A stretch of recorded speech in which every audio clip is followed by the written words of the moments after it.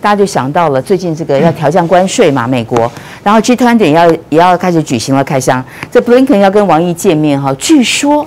王毅也要因此啊，就是拉拢一下中国大陆。事实上，中俄也可以分手一下，对不对啊？我们用关税来交个好朋友等等。那但是导致这个 C 呃九幺九跟这个 CR 九二九没有错哈？为什么有了 C 九幺九之后，我们还要这个 CR 九二九？不过当然，这个目前看起来是已经破局了。那有很多很多的分析，刚刚介大使都说了。但是你看看啊，C 九幺九短时间内难以满足国内市场的庞大需求，为什么呢？因为介大使说，他是使用很多美国的一些零件。但是啊，呃，美国不管如何，在各个领域当中，那个打压的手永远不会松。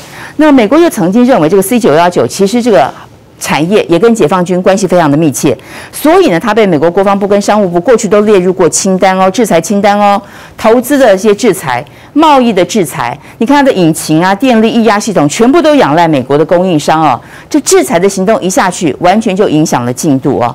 所以在这个状况之下，是不是面？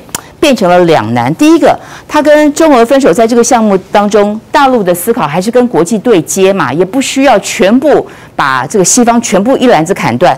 但是你在对接的过程当中，你又摆脱不掉美国的影子，美国的阴影。美国说制裁就制裁，说翻脸就翻脸啊。那这样这个路怎么走下去？我觉得刚刚秀芳姐丢给我超多、超超多问题的。我我现在，我觉得现在客机这件事情，他我想到两件事情。当我在看到这个新闻的时候。第一个事情是说，他跟波，他跟他跟这个法国采购这么大的史诗级的这样子的空巴的订单。其实我想到的是另外一个关键字，叫中欧中欧投资协议啊。中欧投资协议，它其实原本这个要不是这个乌克兰战争的话，也许今年是有机会签署下来的。在法国跟德国这个这个领导领导的这个人选举完之后，底底定之后，今年是原本是有机会签署的。那当然美国是极力反对的。所以我觉得这个订单似乎美日本这个中国大陆的国策也未必要把他的眼光全部看在美国，跟美国对抗之上。他其实其实要在欧洲这边交朋友这件事情，这这有什么不对吗？很对啊。然后另外是讲到说这个中国跟俄罗斯的合作，我觉得其实在这一波在战争当中，这个要把这件飞机的事情拿出来讨论，说中俄关系是不是出现什么变化？我觉得其实大部分人应该都不会认同这样子的说法。那至于中美关系，讲到关税这件事情，其实过去很长一段时间要降关税的人是谁啊？是那个通膨已经快要受不了的美国啊。我前几天看到一个评论，那那个评论其实我觉得看了之后会让人家就蛮心酸的。台湾也许未来不久也会遇到这样的状况，就是呢，通膨已经涨到大家都受不了了，通膨率可能把百分之八，特别很多核心物资、民生物资都涨了，结果政府会跳出来跟你讲说，实质购买力没有消退啊。你还是可以买到这么多东西啊？那代表什么？代表人民在自我消减我的生活水准。原本我可以买相对比较好的食品，相对比较好的民生必需品，我去买了次级品，我去买了平价品。